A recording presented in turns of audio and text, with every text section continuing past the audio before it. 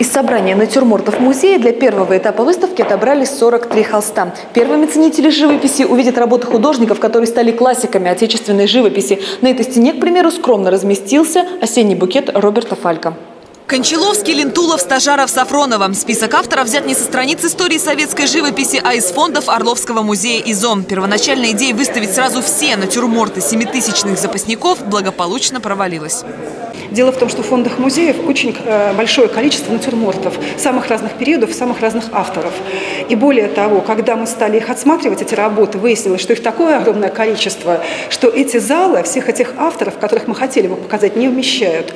Поэтому ограничились только 20 веком и только холстом и маслом. В интересах целостности задумки в сторону отложили также натюрморты скульптурные и графические. Но даже та живопись, языком которой здесь кричит авангардизм, конструктивизм и русский модерн, лик советской реальности отразила вполне.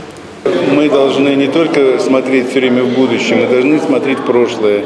И здесь очень яркий пример того, что не надо забывать те традиции, которые у нас есть. Забывая их, мы теряемся в пространстве времени. Символом своего времени стали натюрморты Ольги Малютиной, хотя талант художницы так и остался в тени славы ее отца и учителя, модерниста Сергея Малютина. На картине 30-го года церковная утварь, иконы и книги, сваленные в груду, а внизу, как печать под смертным приговором прошлой жизни, слово «опись». Это страшное время репрессий, когда уничтожали церкви, когда убивали священников. Этот натюрморт действительно является документом эпохи. Эпоха эта неоднозначна и многогранна. На стенах музея она перетекает красками от изобилия к аскетизму, от трагедии к буйному жизнелюбию.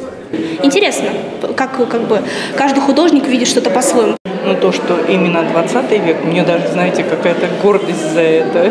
Впечатление очень хорошее. Такие уникальные картины, красивые, необыкновенные. Просто выставка, ну, выставка посмотришь и нет. А здесь вот что-то вот здесь вот откладывается. Увидеть картины советских живописцев, многие из которых выставляются впервые, можно до 6 октября. А в феврале стартует вторая часть проекта. СССР в натюрмортах покажут уже сугубо орловские художники.